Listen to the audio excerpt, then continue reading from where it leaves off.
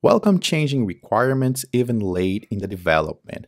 Agile processes harness change for the customer's competitive advantage. If I had to sum this up, I'd say embrace change. We humans have this tendency to resist change. I'm human as far as I know. and I try to fight it all the time. And today what I'm showing you is some changes I'm doing on my Evernote knowledge base notebook, taking advantage of backlinks and note previews. Let's start with what inspired me. A long time ago, I copied this Scrum guide from its website to Evernote. What I did back then was create a note for each chapter. As you can see here, it's a single manual and we can even download a PDF. But what I did was create, let's click here, for example, the sprint. I create a note for each chapter.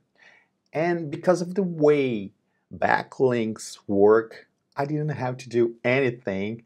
Each chapter now has a backlink to the Scrum Guide note.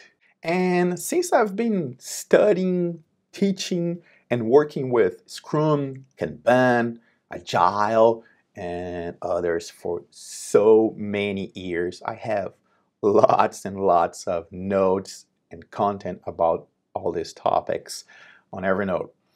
Uh, so far, tags were the only connection they had. For example, as you can see down here, I have a Scrum tag, I have an index tag. This means that this is an index note and I have a guide tag, meaning that this is a guide.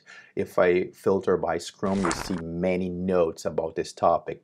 I started noticing another connections. It's automatically, we don't have to do anything. They just show up in, in, in every node. I had this idea of connecting more nodes, connecting all this content to create a way, an easy way to navigate from one node to another. For example, if a node or a blog post mentions a book, I link that to my book uh, highlights that I grabbed from Kindle. By the way, there's a video here in the channel about this.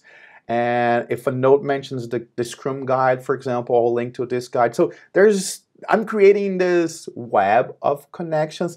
I'll, I'll, show you here because it's better. But today I'm not doing what I usually do here on the channel. We're not building together. I'm just, my plan here is just to show you how it is because it's still a work in progress. There are very few nodes connected. And of course, this is gonna evolve during the next couple of weeks. So let's take a look. Okay, here's an example, two backlinks in the Scrum guide. Let's go to the Scrum glossary. This was here before, but as you can see here, there's a link, the Scrum guide, and this was pointing to the web version of the Scrum guide. And now it is pointing to my Evernote guide. So let's let's go back there and let's see if there's another connection here. Here is, is the Scrum guide again. And here we have values. This is pointing to the values chapter in the Scrum guide. So here it is. This is the chapter Scrum values. And as you can see here, there are two backlinks. One is going back to the glossary and the other one is going back to the guide. Let's go back to the guide because I want to show you the other backlink. Scrum with this little icon in front of the word is what I'm calling central nodes. Let me click here. This is what I'm building. So I have a link to the Scrum guide, the Scrum framework, the glossary. And as for the books, the preview is helping me know which book it is without even reading the note because of the cover. So if I click here, here's the book and my highlights. Again, there's a video here on the channel where I explain how to do this. You'll find a link in the description below. Okay, let me show you a little bit of what I'm doing.